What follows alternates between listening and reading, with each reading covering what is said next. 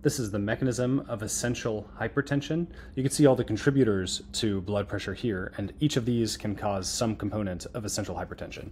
I like to break it down into early stage and later stage changes. In the early stages, you have a multifactorial etiology that leads to overactivity of the renin angiotensin aldosterone system that then causes overactivity of the sympathetic nervous system and increases your cardiac output. So in the beginning, something is causing your body to work harder. It could be uh, salt concentrations, it could be stress, it could be high cortisol, all leading to high RAS, which leads to high sympathetic activation and a high cardiac output.